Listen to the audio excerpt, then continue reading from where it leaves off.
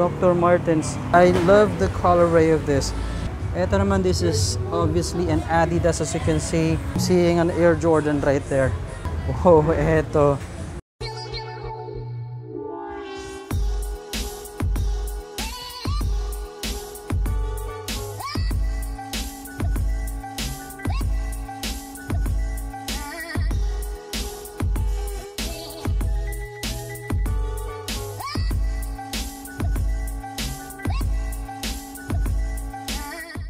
What is up guys? What is up mga karo? We're back with another video and syempre nandito na naman tayo sa pinaka paborita nating ukay-ukay shop dito sa Monumento. It's of course the Astrotel ukay-ukay shop. Again, hindi ito parte ng Astrotel. Eh. Ito yung ukay-ukay shop na nasa baba lang ng Astrotel. Anyway, I've seen couple of shoes na alam kong magugustuhan nyo. So let's go ahead and take a look at them. Guys mga kaaro, so as usual, pinoposition nila kaagad dito yung uh, magaganda nilang sapatos. Like like these ones over here, Dr. Martens. Ito medyo maliit lang sa akin, 1,300 to. Lagi ako nakakita rito, maliit nga lang. Yan, may konting heel drag as you can see. Hindi ko makakita yung size niya, but this is probably size 8.5 or 9. And again, 1.3. In terms of condition, ayan. So kung ito hinahanap nyo,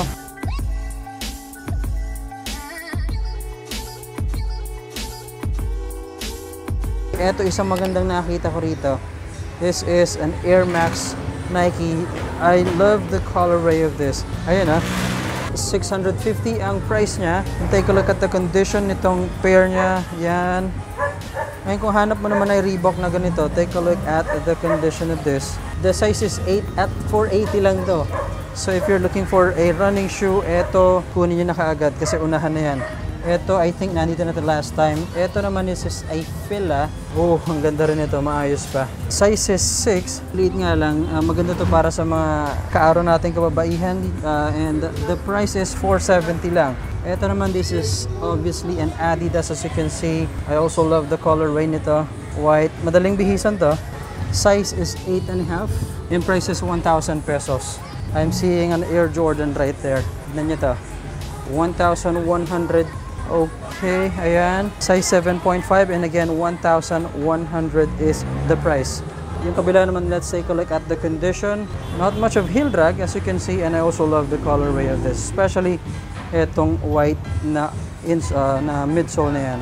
Oh, eto. I bet you may mga naghahanap ng ganito sa inyo. If you're looking for this type of shoe, 1,400 to. And the size is 9. And take a look at the condition, especially nitong pair niya.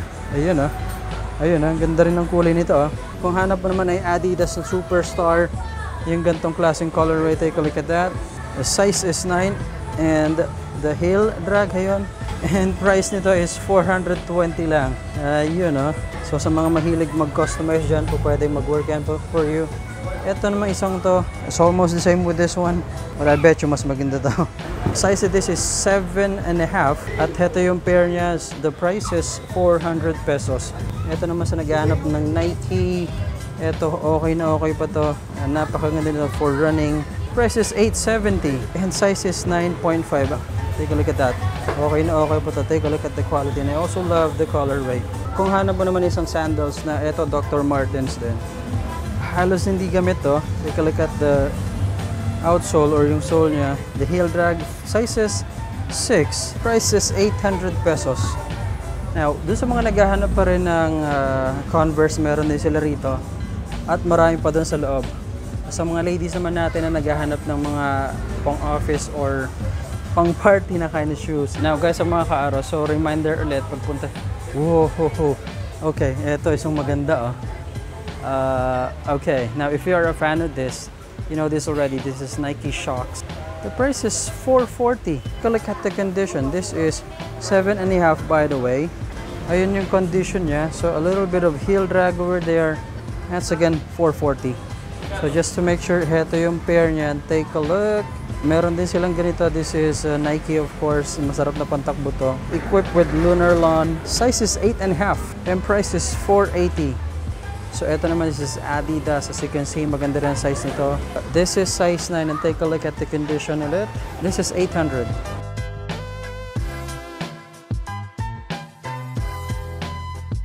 Sa mga naghanap naman ng medyo malaki na Adidas Gazelle, take a look at this. In terms of condition, ayan, meron siyang konting heel drag. Price is 580 and size is 8.5. Okay, okay. So, ito Adidas din. Medyo maliit nga lang to. Size is 7 and price is 650. Ito naman kung hanap mo Converse na halos hindi gamit. This is almost brand new, I can tell you. Halos walang heel drag. As you can see that size is 9 and a half uh, and price is 830. So, ito meron ding Dragon. As you can see, maliit nga lang to. 530. This is probably size 7. Fila na ganito. Flat lang. This is 400 pesos. And this is size 9.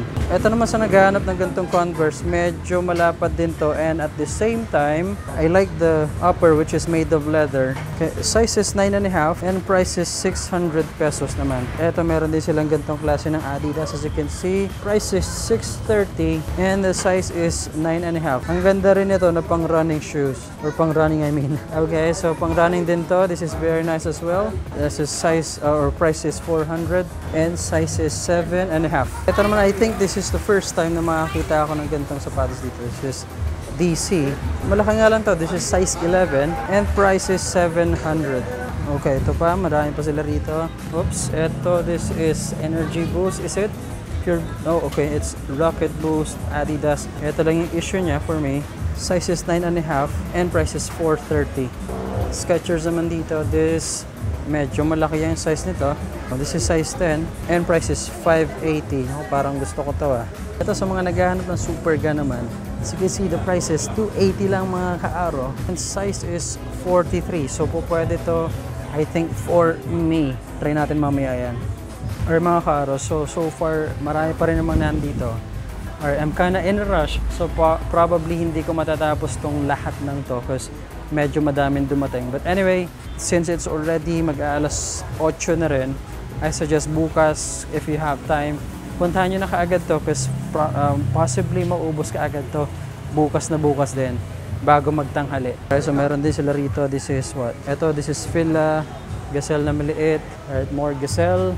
So ito sa mga kailangan ng maliit na likok dyan. Alright, so Reebok naman to. Kung naghahanap ka naman ng ganito, pwede pang buksingero to, no? Tingin mo. Ah, pwede? Okay. The brand is Prospect. Size is 10 and a half. But seriously, po pwede siguro tong pang gym. I'm not really sure. The price, if you're interested, 400 pesos yan. Pero sa naghahanap ng pantakbo pa ito, mura rin to. This is 280 uh, and this is Saucony. Maganda tong price. Maganda tong brand na to for running shoes. Uh, The the size is 8. So sa mga size 8 dyan, kunin nyo na to. Murang-mura pa to. And the, the quality or the condition, ayun. Okay? At ayun yung pair niya. So, doon pa rin sa mga naghahanap ng mga pambata naman, marami pa sila rito. Like this one right here is a Fila. So, po pwede yan siguro pang-apat na or yeah, pang-apat na taon. Ito, isang maganda rin to. oh. Ito po pwede sa mga pang-pitong taon. Size is 5 and a half. And price is 370 lang. So, pwede pwede na yan. Uh, meron pa sila rito, Skechers over here. Ito, pang babae naman na Skechers. Size, uh, price is 430 lang. And look at that. Size naman ito is 7 and a half. And take a look at the condition ng dalawa. Ganda pa niya na. Alright, syempre din sa naghahanap pa rin ng Converse, ayun, mula doon hanggang sa dulo, hanggang dito. May na-mix lang dito, Nike. Let's take a look at it. Alright, so this is a Nike, oh, Nike Dunk. Ganda rin ito ah, pambata oh. 440 lang ah. Okay, this is probably rare. I'm not really sure about, okay, in terms of condition, ayun. And the size is 5. Take a look at that. Pero isang magandang colorway is an Air Max. Yeah, size is 5 and a half. And price is 380 lang. Doon sa mga kaaraw naman natin kababaihan dyan, sa mga nagtatanong kung may mga bags na bago, I'm not really sure kung bago to mga to, pero so far meron sila. As well as on those walls, uh, yun mga yun, karamihan mga bago. Pero ito yung mga second hands as well as on this side. Okay? And then syempre nandun din yung mga Uhuhu, okay rin itong mga sapatos ah. Uh, dun sa mga, I guess these are like Korean kind of shoes. Kung naghanap kayo ng ganyan, puntahan nyo na. Wow, eto nakita kong ganda oh. I think bago pa to oh. Take a look at this. In terms of quality, so far okay naman. Uh, size probably is 7 and price is 200 lang. So kung naghahanap kayo ng medyo mura, I think okay na sa inyo to. Uh, this, I'm not really sure kung Riglo yan, but yeah, if you'd like to check that out. Ito rin isang magandang nakita ko. 320 lang to. Ito yung mahal tong klase na to. It's just that medyo makapal na yung heel drag niya for this type of shoe. Uh, this is heavy duty. Although yung loob nito is very comfortable as well. Again, 320. The brand is Camper. Hindi ko na makita yung size niya. This is probably size 9 or 9 and a half. Meron din malalaki pa dito. This one is Rockport. I am a fan of this brand. The size is 10. Take a look at that. Let's take a look. May konting heel drag. And the price is 440. Ano to? Okay, hang 10 kung naghahanap kayo ng ganito. This one is 300 naman and uh, size 8 probably. Vans, okay. So sa mga soccer shoes naman ang hanap, eto, nandito sila. Oops, eto, isang maganda rin colorway nito. Ah, okay. So eto mukhang kailangan ng konting, konting restoration nito, but this is nice. Nike Air, as you can see, uh, the size is 8 and a half. Let's take a look at the price is 480 at ayun yung pair niya. For me, okay na okay pa to. Kailangan lang pinturahan to and you're good to go. Let's take a look at the manufactured date. It's 2011. Alright, so medyo, medyo luma na but kung yan ang hanap mo, I think okay na okay yan for you. It has been a while na naghahanap ako ng mga shoes na uh, Balenciaga for myself pero so far So far, wala, hindi pa tayo sinuswerte, hindi pa nakakita ng magandang Balenciaga for me. This one over here, maganda rin ang colorway nito. Okay, Hero Yamamoto. Ang brand niya looks nice. Size is 7 and price is 280 lang. Sa mga kaaro natin na naghahanap ng kapa dyan, okay din tong from its looks. Uh, I think okay pa naman siya. The price is 330 and the size is 7 and a half or mga karo. Doon sa mga karo, sometimes I look for some shoes na I guess rare, yung mga hindi masyadong kilala, but sometimes if you check it on the internet, medyo may kamahalan. Like this one over here, hindi, hindi ko pa siya na-check. But the price of this is 480. Reason kaya ko siya tinignan is that its quality is super nice. Tignan niyo yan, no? halos, actually, I don't know kung nagamit to. And the material of the upper, tig tignan niyo yan, this is rubber, and then this is, I don't know what kind of fabric that is but the size of this size of this is probably 10 or if not 10 and a half something like that the brand is AUF auction so I'm gonna try and I am just not sure kung kakasya sa akin to kasi medyo makitid from its looks medyo makitid yung entrada so this will probably not fit dito sa malalapad kong mga paa but yeah if you're looking for this again this is 480 lang this one over here buffalo So this looks nice as well. Size is 9 at ayun yung pair niya at ang price niya is 380 lang. Alright, so meron pa rito. This is uh, New Balance, Nike, Converse, hey, New Balance din. Let's take a look ano to. Size is 6 and price, mukhang wala siyang price. So tanong natin is 380 ganap ng Converse dyan. Ito, maganda tong Converse na to. I think this is rare. Ngayon ko lang nakakita to. Price, this is 580 lang. And take a look. The upper, it's made of leather, fine leather. Right. Size nito is 6.5. Mga kaaro doon sa mga kaaro natin, syempre mga kababaihan dyan. Ang ganda rin nito, oh. Pambabae nga lang, the brand is Sap, S, Sapid, Sapide, whatever that is. It's made in Korea. Ayun, oh, walang heel drag, oh. Halos bago to. The price is 180 lang. Is this for real? Wow! Ayun pa oh. At ayun pa oh. Ito first time kong makakita ng isang hiking shoe ng Prospex. Price of this is 480 lang. And the size is 8.5. So naghahanap naman ng A6 dyan. Take a look at this. Okay na to. Napakagaan dalhin o napakagaan suotin nito. Price of this is 380 and size is 6. A few moments later. Alright, what is up mga? So, uh, we're back again. So, this is going to be the second vlog for the day.